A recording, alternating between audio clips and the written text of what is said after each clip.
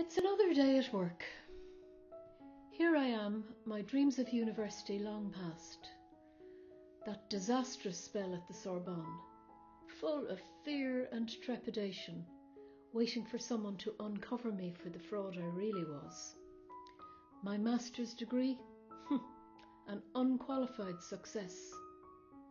And Florian, one more catastrophe in a long series of failed relationships. Another suitcase in another hole, I hum as I dry the glasses. As a student, I passed this bar at least once a week. I peered through the window a million times without ever quite making it in through the door, despite desperately wanting to. Back then, I was a wispy Paris bohemian with holes in my soles, reading about zinc bars in the library copy of Émile Zola's The Belly of Paris. To my student eyes, the patrons here looked too frightening, the proprietor too crotchety, the cigarette smoke too thick, and the housekeeping too skimpy for me ever to venture in there. Things change. Now I work here every day, up to my elbows in soapy water, drying glasses and inhaling the cigarette fumes and other stale aromas which fill the dusty air. In the mornings, before the bar opens, I clean out the few chambres à louer which make up the second floor of the building. Bare walls, thin carpets, and a million stories to tell. The bar is freestanding, horseshoe shaped, and made of zinc. There are pulley lights with doily draped shades and makeshift cubbyholes for stacking wine bottles. The walls are grimy and yellowed with crocheted curtains hanging on the smoky windows. Blackboards announcing the plat du jour hang behind the bar, and the tables are covered with paper tablecloths over red and white checked cotton ones. Wine is served from indestructible Duralex tumblers of varying sizes. Regulars treat this place like home, coming and going, reading and gossiping, daydreaming and grumbling. The air hums with soccer chat.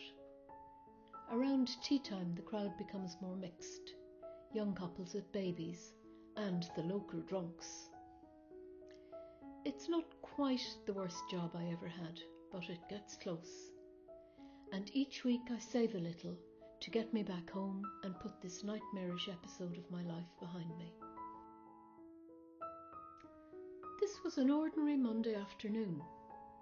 I looked up from drying the glasses to see a young couple lingering shyly at the bar, slight waifish figures silhouetted in the shaft of sunlight streaming in from the open door. They had an aura about them which made my heart stop for a moment. Or maybe I just think that now.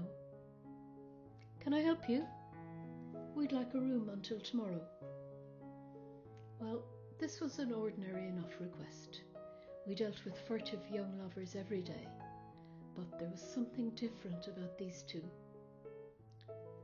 I showed them up to the bare little room, tucked away in the dark shadows, all the while noticing that they seemed to carry the sunshine with them, illuminating the shabby setting with an almost ethereal glow.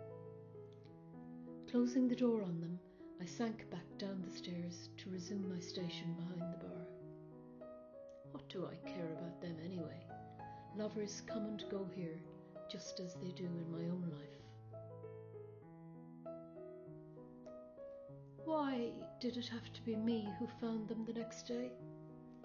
Still holding hands, still face to face, but all the sunshine drained from them along with their lives?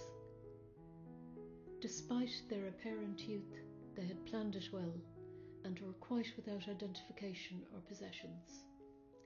Nobody claimed them as they lay cold in the anonymous Paris morgue.